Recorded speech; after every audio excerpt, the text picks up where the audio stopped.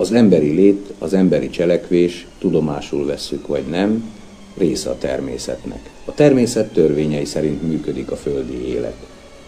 Amennyiben az emberi cselekvéseket, törvényeket betartva teremtőek, úgy a természet életet, megélhetést biztosít. Ezt a törvényt sokszor próbálta már az ember felülírni, azonban az idő mindig azt igazolta, hogy a természet törvényszerűségeinek megszegése végzetes következményekkel járhat, akár a bolygónkat benépesítő valamennyi élőlény, köztük az ember számára is.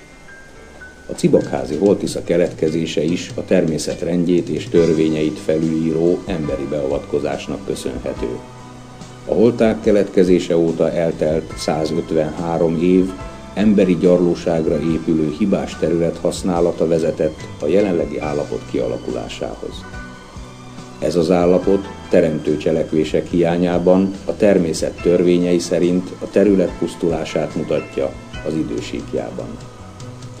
Az összeállítás a teljesség igénye nélkül mutat be apró lépéseket, amelyek teremtőek a holtág ökológiai állapotának javítására, és néhány ma is hibásan működő gyakorlatot, amelyek a pusztulást idézik elő.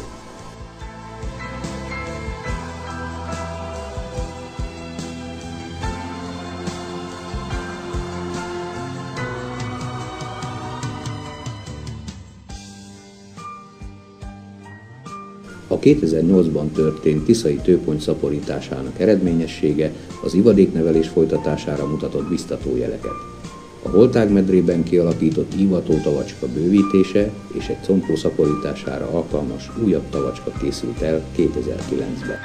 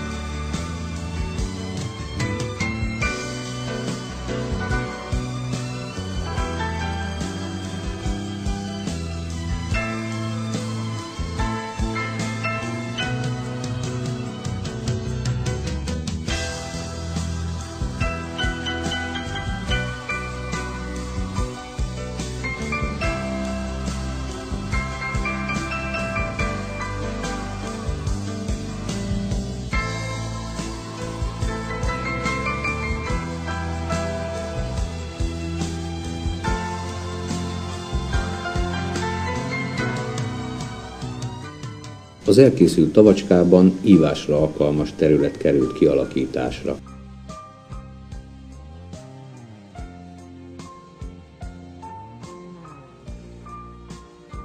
A halivadékok természetes táplálékát jelentő zooplanktonok kellő mennyiségben jelentek meg a gondos előkészítést követően.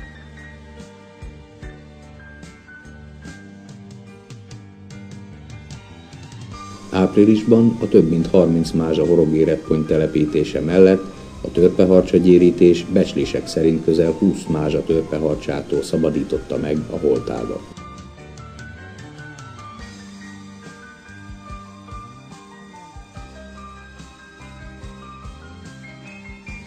Ebben az időszakban figyelhettük meg a kárászok hívását. A 2008 év őszén történt vízpótlással a holtákba engedett nagy mennyiségű kárászivadék jelentős része a kistiszai szakasz sekély vizében vert tanyát.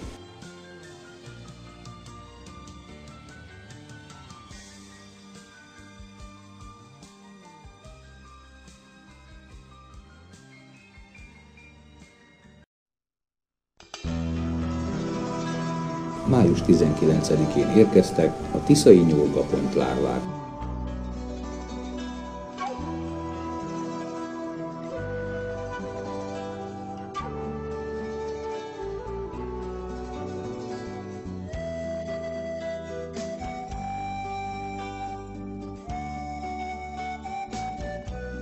Május 23-án az ívásra befogott combóanyák ívását segítő hormonkezelés történt, és 24-én hajnalban vízgyűrűk megjelenése jelezte, hogy ívnak a combóanyák.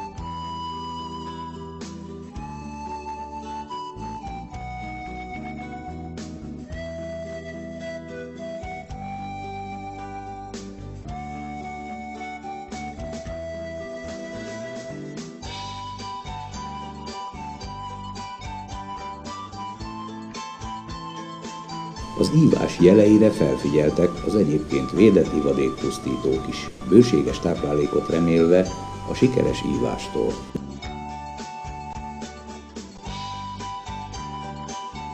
Június 17-én észleltük az első kikelt combólárvákat.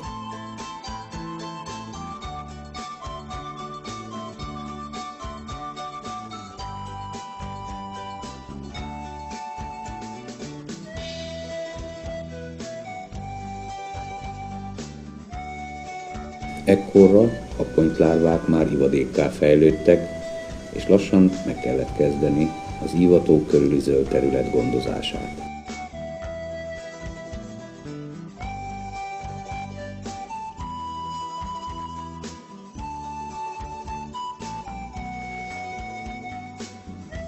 Június második felében a Szolnoki Természetvédelmi Egyesület munkatársai végeztek botanikai vizsgálatokat a holták területén.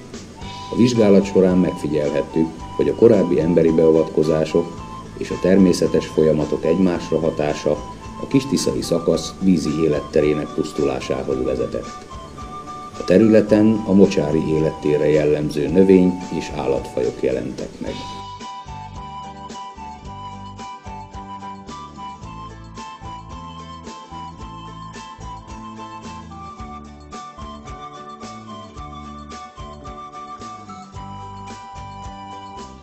Az ivadéknevelő tavaknál egyre gyakrabban találkozhattunk az ivadékok védett vámszedőivel.